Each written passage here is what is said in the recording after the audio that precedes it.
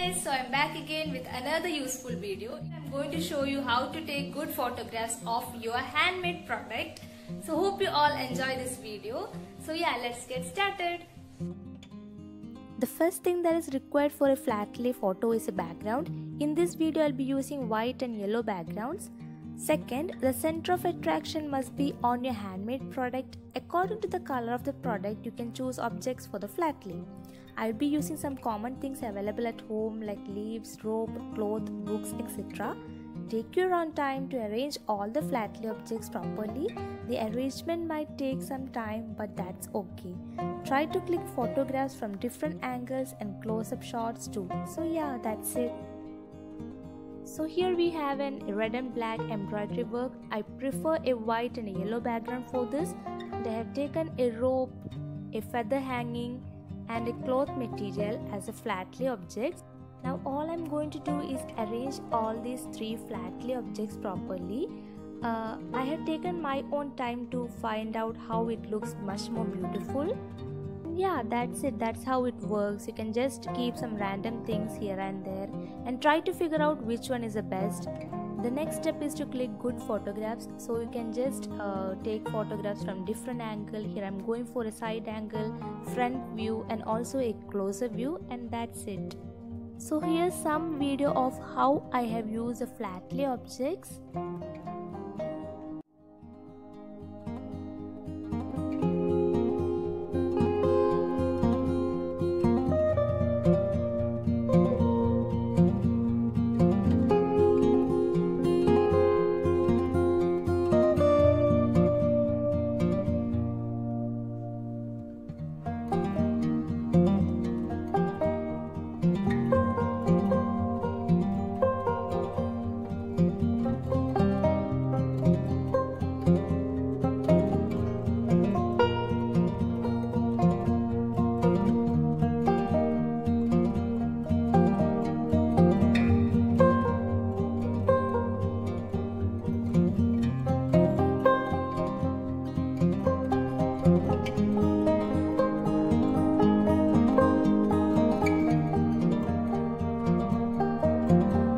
lay objects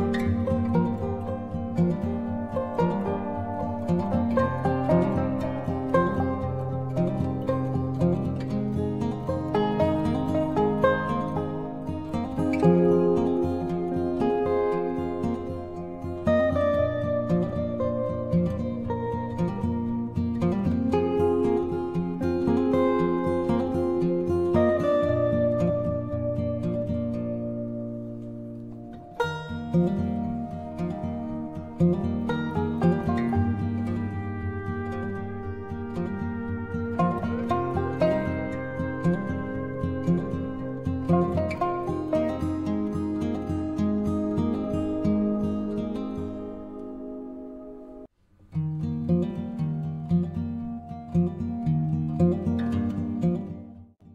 here I have taken a clock as my handmade product. Since this is a 3D handmade product, I will have to change the overall setup.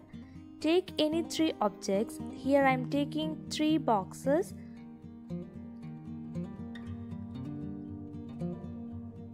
Now slightly curve the background like this and place the boxes on three sides.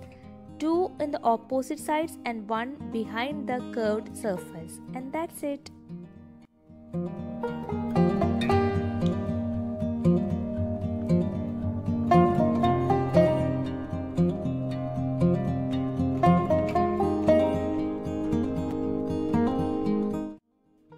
Finally, I am going to show you how to click photos of wall hangings. You will have to take your double-sided foam tape and stick it onto the background material you have taken. Then stick flat lay objects I have used a cello tape and also a double-sided foam tape to stick the flat lay objects. And yeah, that's it. It's ready. There are few things you will always have to keep in mind.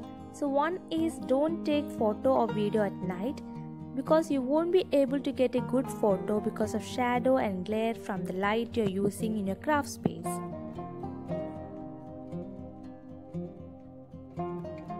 The second one is proper sunlight. make sure if there is proper sunlight and no shadow see here there's shadow from the window railing but that must not happen and the last one is use contrasting colors either for the background or flat lay objects.